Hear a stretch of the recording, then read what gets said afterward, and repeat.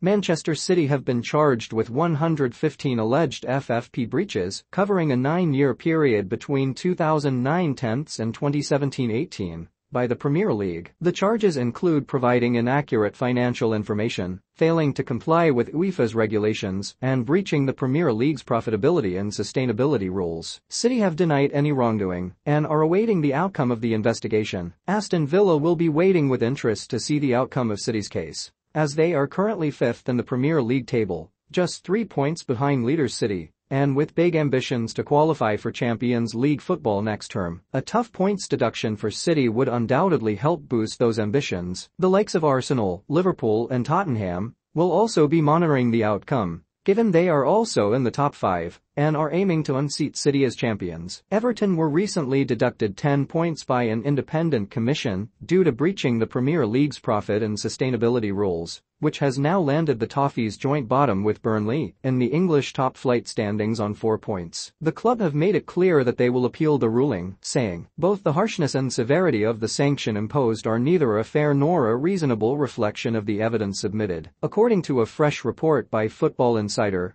Everton sources have said the club are confident the 10-point punishment will be significantly reduced on appeal and instead receive a punishment of between 3 to 6 points, docked once the process concludes.